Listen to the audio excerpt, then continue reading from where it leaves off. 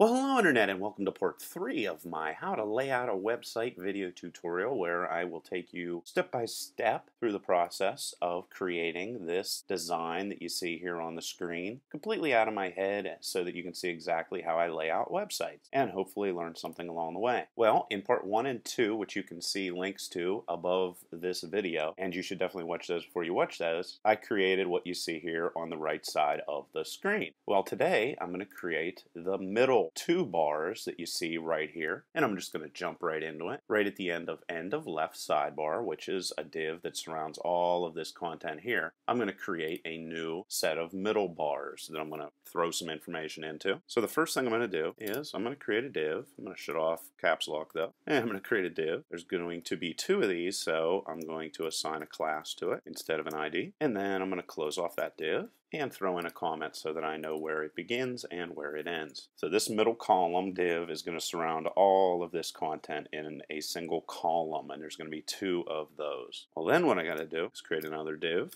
Class is equal to middle container is what I'm going to call it and again close off that div.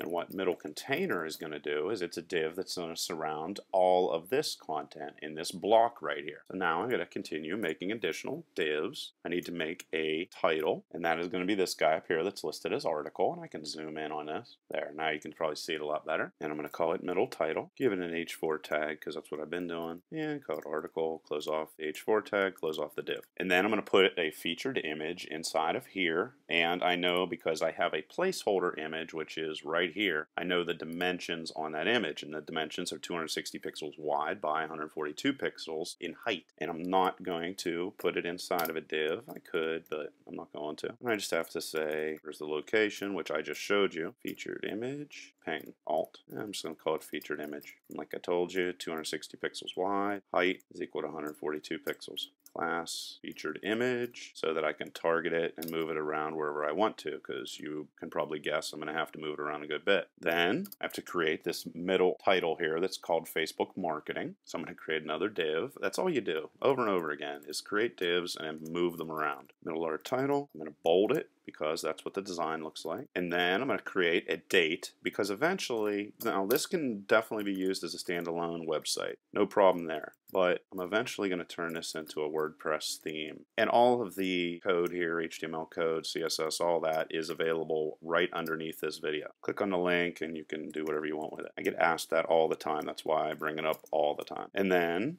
I have to create a horizontal rule, scroll this up, and I'm actually going to create a div that is going to represent a horizontal rule. I'm not going to use the standard horizontal rule because I like to move the horizontal rule around nice, and that's how I do it. And then you come to the actual content, making it a paragraph like I often do. Middle excerpt, and then I have to get some lorem ipsum, copy, and paste that in there. And I'm just going to cut it off based off of what I have in the layout. And I'm going to do an H reference, a link to the actual article content. And I'm going to call it click for more. Close that off, and then just type in more.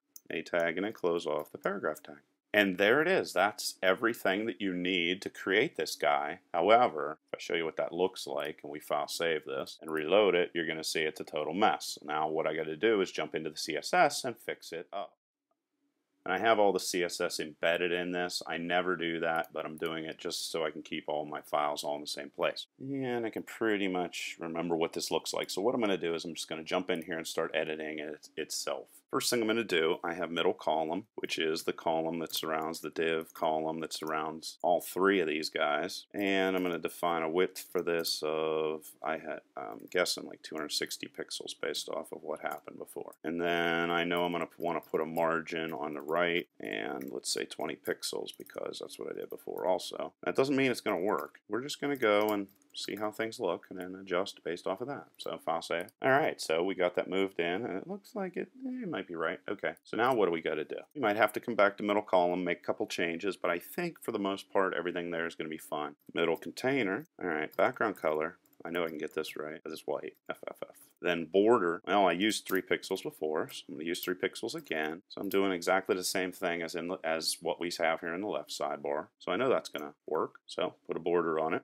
Margin, I'm just going to use 10 pixels again because it's what I used before. I'm kind of copying a lot. Width, I'm going to leave that at 260 pixels because that's what I did before. Height, I have no idea. So I'm going to put in 300 pixels. And padding, 2 pixels. Let's file save it. See where we're at. Reload. Okay, so eh, not quite certain here. It's looking about right. So now what do I got to do? I'm going to start messing around with the middle title, which is what says article here, like who we are. And I'm going to use who we are kind of as an example. So middle title and my font, I'm going to use the same exact thing. Actually, let's grab all of this and see how much of it applies. All right, so my font, I'm going to leave it exactly the same. Background color, going to leave it the same. Color, going to leave it the same. Width is definitely going to be wrong. Let's say 175 instead because it's going to a longer thing, a longer bar. As you can see here, this bar is longer than this bar. Height, more than likely going to be the same. Text align right, definitely going to be the same. Padding right, 6 pixels, probably going to be real close to being right.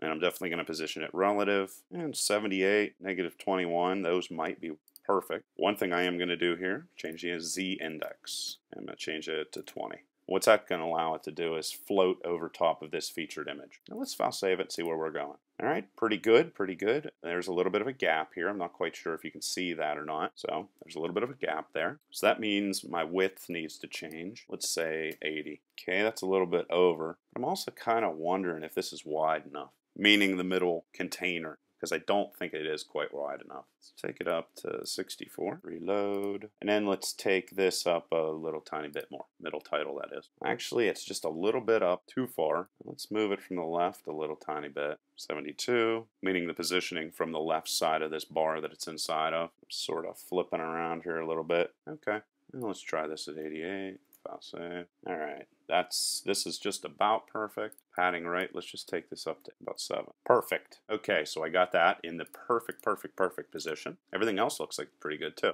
So now what we're going to start doing is messing around with a featured image. So what are we going to do? Position it, relative, left, let's go one pixel. And then how far up in the air are we going to want this guy to go? Because we want it to go underneath that banner. Let's try 50 pixels. Reload. Okay, that was too much. Let's take a little bit off of it. Let's try 45. Perfect. Okay, so that's looking good. Remember, this is just a placeholder. That doesn't mean it's going to look that way later on. All right, so now we got to start playing around with the middle art title, which is this title, Facebook Marketing right there. If you can't see this, look at it full screen. All right, so we're going to position it relative. And from the top, let's try negative 50 pixels. That's 45. Eh, looks about right. Let's see. And padding left. Let's try 4 pixels. All right, looking pretty good, looking pretty good. It's pretty tight. Let's see here. Mm, a little bit let's say a little bit, not quite so much up there. Let's try 45. I'll save. All right, much better. And aside from that, as far as I can tell, everything looks pretty good. So then we got to go middle, art, date. And as I was creating these divs, I just haven't written down a piece of paper. That's why I don't have to refer down to their names constantly. Position relative, top. I'm guessing it's going to be negative 45 pixels, just like the top one. Padding left. Guess what? It's going to be 4 pixels, just like before. Reload. Perfect. We're getting there. We're almost done, actually. Now I got to create the horizontal rule. And I already used horizontal rule in the left sidebar, so I'm going to call this horizontal mid rule. Background color, because it's a div. Gray color I used before. Height is going to be 2 pixels, like I used before. Width is going to be completely different. Let's try 170 pixels. Margin, left, we'll say 3 pixels. Position, relative. And let's say we want to move that guy up 50 pixels from where it's laying at. Mm, too much. Okay. Oh, I should have made it 45.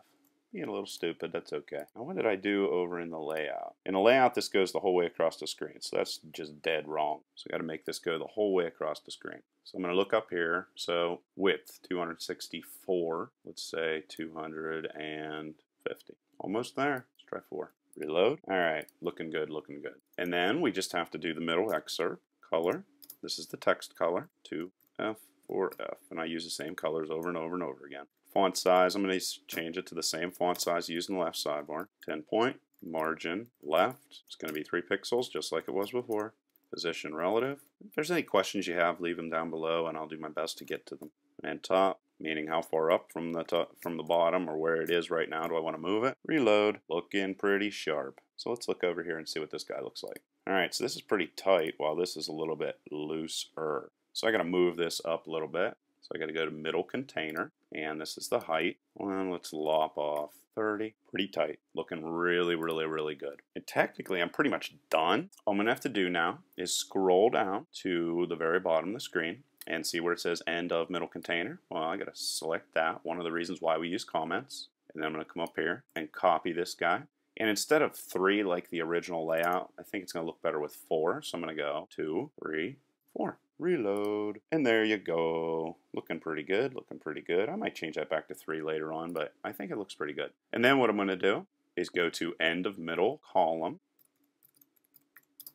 Second middle column, close off that comment. And then I'm going to come down to middle column, select all that. Div class, middle column, copy it, scroll way to the bottom, and right before content wrapper, come in here, paste that in, file save, reload, doink. Now if we zoom out, you can see that everything is coming out pretty, pretty good. Leave any questions or comments below. Otherwise, till next time.